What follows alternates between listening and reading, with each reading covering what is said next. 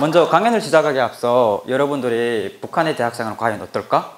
예, 잠깐 궁금해하실 것 같아서 제가 그 부분을 잠깐 언급을 하고 합니다. 먼저 지금 사진에 나와 있는 부분이 이거 지금 우리 김책공대인데요. 자 지금 학생들이 행사에 가는 게 아니에요. 행사 가는 게 아니라 지금 강의에 올라가는 거예요. 네 이렇게 다 우선 어떤 지정된 정장을 입고 지정된 교복을 입고 강의에 참가해야 되는 거예요. 그리고 다른 일과 생활을 본다게 되면 일과는 어, 5시 반부터 6시 반 사이 기상을 해서 저녁 10시 점검 점을 하고 네, 취침을 해야 됩니다. 놀랍죠? 네. 그리고 학업적인 부분에서 볼 때 제가 지금 이 사진을 하나 가져왔는데요. 네, 이 사진이 북한이 예, 대내외적으로 널리 선전하고 네, 좋은 조건을 보장해 준다고 한 바로 2006년도에 김책공대 그 설립된 전자도서관이에요. 근데 저 개인적으로 전자도서관을 예, 이용은 좀 많이 했어요. 그런데 우리는 여기 혜택을 많이 못 봤어요. 왜냐하면 어, 전기가 안 와요. 컴퓨터 할 수 있겠어요? 그래서 전기가 안 오는 까닭에 컴퓨터, 컴퓨터를 거의 하루 두시간 정도 네, 그렇게 이용했고요. 그리고 인터넷이 전혀 안 되는 사정으로 해서 인터넷 검색이 안 됐어요. 대신 북한에서는 어, 인트라넷이라고 북한 자국내 인트라넷이라고 광명 네트워크라고 있었어요. 그 광명 네트워크를 이용했는데요. 네, 그것도 너무나도 제한이 많아서요. 아마 제한된 자료만 네, 아마 극히 일부적으로 인터넷에 접근해서 본 기억이 납니다. 그리고 특히 특허 관련 부분에 대해서 보게 되면 여기서는 글쎄 잘은 모르겠지만 네 내가 필요한 자, 자료를 볼 수 있는데 북한에서는 어, 특허 관련 부분이 전혀 일반 학생들에게는 허용되지 않습니다. 특정한 부, 사람 특정한 부분이 특정한 권한을 가지고만 예, 특허를 검색할 수 있는 것입니다. 저는 이렇게 좀 어려운 부분 제가 말한 부분은 일부분이 지나지 않는데요. 공부하는데 이 밖에도 많은 어려움이 있었습니다. 하지만 제가 거기서 좌절하지 않고 예, 공부를 할 수 있는 것은 북한에서 저의 꿈과 희망이 있었기 때문입니다. 북한에서 저의 꿈과 희망은 제가 군수 기계공학과학자가 돼서 제가 원하던 군수공업 부분 연구소가 있었어요. 네, 제 그 부분에서 아, 난 이 부분에서 일하고 싶다. 여기로 말하는 R&D 부분이죠. 네, 일하고 싶다 하여서 학부 기간에 나름 열심히 공부했습니다. 그렇다고 해서 실력은 절대 올라가지 않았고요. 네, 그래서 2008년도 경에 진행된 이게 지금 인터넷 찾아보니까 좀 나오더라고요. 네, 그래서 가지고 왔는데요. 2008년도 경에 어, 북한에서 전국 각 대학생 기계 설계경연대학이라고 좀 전국적인 부분이 있었는데 이 부분이 나가서 예, 교수님들 같이 나가서 그냥 우수상을 받았어요. 네, 그리고 실제 대학 학사 과정에 교수님들과 같이 예, 이거 여러 현장들에 나가서 어, 연구 사업을 한 경험도 가지고 있었습니다. 제가 이렇게 열심히 한 이유는 어, 그냥 나만 열심히 하면 내가 원하는 곳에 갈 수 있겠구나. 네, 그런 예, 희망이 있어서 나름 열심히 했습니다. 하지만 어, 현실은 저에게 너무나도 거리가 멀었고 좀 당혹스러웠습니다. 졸업할 당시 보게 되면 저는 그냥 아 내가 나름 열심히 했으니까 어, 좋은 곳에 배치받겠구나 하고 생각했는데 현실은 여기로 말하면 중소기업 중에서도 소기업의 현장 기사로 제가 배치받은 거예요. 제가 그런 현실을 보면서 아 저는 이 사회에 못 있겠구나 그런데 여러 가지 이유가 있었지만 제가 음, 이 사회에 못 있겠구나 하고 결심했습니다. 근데 혹시 아니 그럼 내가 가고 싶은 자리는 누가 갔지? 누가 갔을까요? 바로 권력자의 아들이 간 거예요. 네, 제가 서민의 자식이고 네, 서희 충실 성분이 좀 문제가 돼서 저는 연구소에 가서 제가 할 수 있는 연구를 할 수 없는 거예요. 그래서 저는 어, 여러 가지 그 전에도 여러 가지 북한 사회의 모순점을 알게 되었고, 네, 또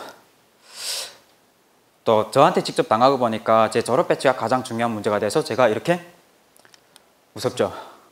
절정망을 넘어 한국에 오게 됐습니다. 자, 이렇게 저는 많은 시련을 겪고 한국에 오게 됐습니다. 한국에 처음 입국했을 때, 아, 저는, 아, 내가 그렇게 바라던 한국에 왔구나. 잠시 희열을 느꼈을 뿐이지, 그 다음엔 또 다른 현실의 벽에 부딪혔습니다.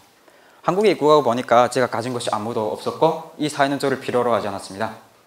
주위에 아무리 좋은 차들이 있고, 네, 아무리 멋진 물건들이 있다 해도 그건 다 그림의 떡이고 오히려 저를 더 처절하게 만들었던 거죠. 네, 제가 지금 보여주는 것이 누구나 다 아시는 커피숍 커피맨이에요. 어, 제가 이 사진을 보여드리는 거는 제가 한 가지 일화를 말씀드려야 하는데요. 어, 선배와 같이 한국에 와서 얼마 안 돼서 선배가 나오라 그래 나갔어요. 커피숍에 가서 커피를 마시자는 거예요. 그 선배가 그러시는 거예요. 자, 메뉴 골라라. 저 봤어요. 아메리카노가 뭐죠? 에스프레소가 뭐죠? 처음 본 단어에 처음 본 메뉴예요. 전 그래서 메뉴만 보다가 아, 전 먹었으니까 나중에 먹겠습니다. 바로 나왔어요. 저 이렇게 지금은 여기서 여기 모인 여러분들도 다 너무 지금도 저도 익숙하고 너무나 익숙한 단편적으로 커피숍에 가서 커피를 마시는 일조차도 저에게는 너무나도 어렵고 생소한 일이었습니다. 하지만 저는 거기서 어떻게 어렵다고 또 다른 사회 갈 건가요? 그건 아니죠. 그래서 저는 한국 사회 정책을 살아야 되기 때문에 어, 여러 가지 한국 사회에 정착하려고 네, 여러 가지 생산 현장에 가서 노동도 해보고 또 제가 저쪽 북한에서 배웠던 기술이 캐드 관련 기술이기 때문에 네, 그 부분에서 아, 나 캐드 관련 자격증도 좀 공부해보자 하고 여러 가지 자격증 공부도 하였습니다. 하지만 제가 이렇게 진로에 대해 생각하다가 어, 아, 나 진짜 뭐 하지? 내가 할 수 있는 게 뭐 있지? 하고 생각하다 결국은 공부를 하게, 하려고 결심했습니다. 자, 그렇지만 제가 공부를 한다는 것은 결코 정말 어려운 결심이었습니다. 제가 공부를 하려고 결심한 나이가 27살 됐어요. 아, 솔직히 다 아시다시피 27살에 다시 대학 공부를 시작하고 네, 다시 학사 과정을 한다고 생각하면 누구나 다 어렵다고 생각할 거예요. 그렇다 해서 저는 또 뛰어난 천재도 아닙니다. 둔재예요, 둔재. 네, 그래서 또 공부를 한다고 해서 미래에 대한 보장도 없었어요. 하지만 제가 왜 이런 공부를 하고 생각했을까? 저는 우선 이런 여러 가지 생각을 하면서 아, 제가 그러면 주변에 저희 탈북민들은 어떻게 살고 있나 그런 주변도 또 보기 시작했어요. 그런데 저희 주변에 반 탈북민들은 대체로 다 자, 앞에서도 말하다시피 가진 것이 아무도 없어요. 그러니까 당장 어떻게 해야 되겠어요? 일을 하겠죠. 한마디로 말해서 네, 지금은 좀 힘들고 어렵더라도 더 좋은 미래를 위해서 현재를 투자하는 네, 그런 분들이 많지 않았습니다. 그리고 올해 들어서 제가 알기로는 거의 3만 명 시대의 탈북민들이 시대가 돌아했거든요. 그런데 그, 그 와중에 일부분들의 잘못에 의해서 예, 탈북자들에 대한 인식도 나빠지고 있는 상황이었습니다. 음, 저 역시 한국에 도착해서 이렇게 2, 3개월 동안 진로에 대해 많이 고민하다가 결국에는 어, 다시 공부를 해야 되겠다. 처음에는 막연하게 공부를 해야 되겠다 하지만 생각했지만 나 그럼 공부를 해서 뭐 하지? 하다가 아, 나 공부를 해서 어, 기계공학 박사가 되겠다라고 결심하게 됐습니다. 어, 갑자기 좀 이렇게 생각되잖아요. 아, 공부해서 만약에 그럼 그냥 했던 부분이 많은데 그럼 그냥 뭐 회사에 나가 일하던 아니면 뭐 다른 사업을 하던 왜 하필 교수인가? 네, 이렇게 생각할 수 있는 건데요.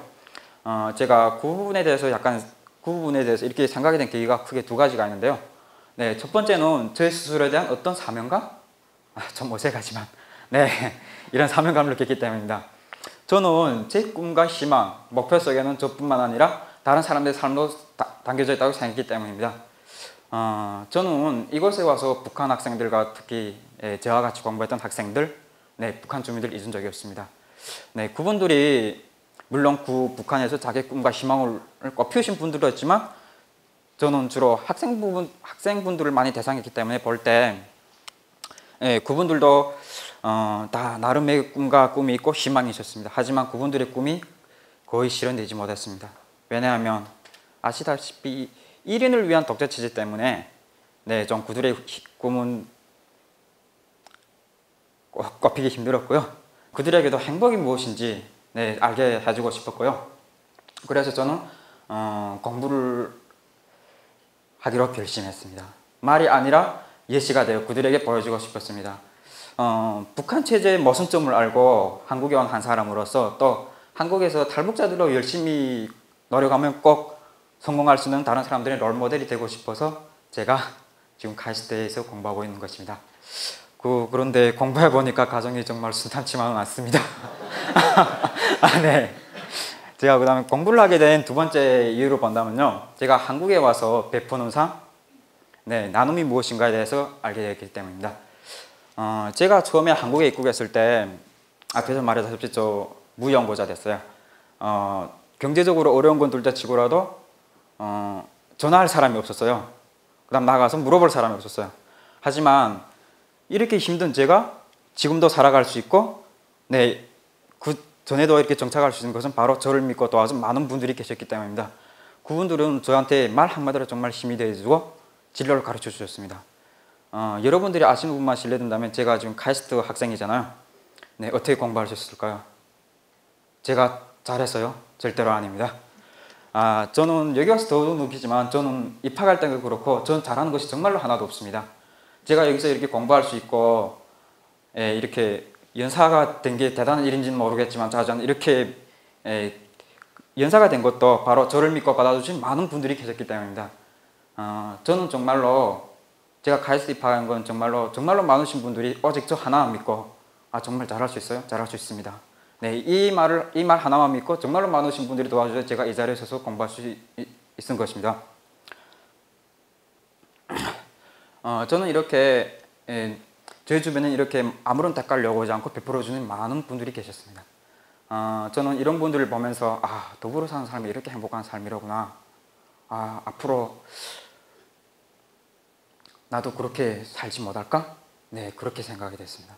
왜냐 어, 저도 받아보니까 아 제가 생각 없이 예, 한마디 베푼 게 다른 사람들한테 얼마나 큰 힘이 되는가 하는 걸 느꼈기 때문입니다. 그러면 제가 베푸는 삶을 살고 아 그럼 나 어떻게 살아야 되지? 어 과연 어떻게 하면 베푸는 삶을 살지? 많이 고민하던 중에 아 공부를 하자 공부를 하는데 최종적으로 교수가 되자 라고 생각하게 됐습니다. 예, 교수가 되려고 하는 여러 가지 목표도 있는데요, 아 목적도 있는데요. 어, 그 중에 가장 제가 한 가지 생각을 한다면 교수가 돼서 학생을 가르친다, 지식을 가르치는 거잖아요. 저는 지식을 가르치는 것도 하나의 나눔이라고 생각했습니다. 그리고 음, 저는 이렇게 지식뿐만 아니라 네, 만약에 통일이 된다면 아, 제가 다닌 목요에서 학생들을 가르치는 교수가 되고 싶습니다. 아, 누군가는 이렇게 말할 수 있습니다. 누군가는 탈북민인 제가 아, 제 삶을 하나도 영위하기 힘든 제가 아, 어떻게 베푸는 삶을 살겠냐 이렇게 반문하실 것 같습니다. 하지만 저는 그렇게 생각 안 합니다. 어, 베푼다. 나 더불어 사는 사람이라는 건 한마디로 말해서 자기가 만약에 성공해야 부가 많아야 그럼 베풀까요? 예, 물론 그렇게 할 수도 있겠죠. 그렇게 하면 정말로 좋고 멋있겠죠. 그렇지만 저는 가진 것은 적어도 자신이 조금 힘들더라도 예, 주위에 저보다 더 어려운 분들이 많거든요. 그런 힘, 그런 분들에게 작은 힘이 나다 보태준다면 그것은 베푸는 삶, 나누는 삶이 아닐까 하고 생각합니다. 어, 여기 모이신 여러분들도 다 각기 자기의 꿈과 희망이 있고 목표가 있을 것입니다. 어, 제가 이 자리를 빌어 한마디만 한다면요. 어, 정말 꿈과 목표를 위해서 간다는 게 쉽지만 않습니다. 하지만 그 과정의 어려움이 저는 그 과정에 생긴 어려움은 그냥 어려움이 아니고 과정이 아닐까 네, 이렇게 생각합니다. 그래서 여러분들도 음, 지금 꿈과 목표를 해서 다 가는 길에 있고 이미 다 이루고 하시는 분들도 계실지 모르겠지만 그분 그 과정에서라도 어, 가정에 가고 조금 힘들더라도 작은 나눔이라도 네, 서로 그렇게 베풀어주고 어, 더불어 사는 삶을 살게 되면 행복하지 않을까 생각합니다. 감사합니다.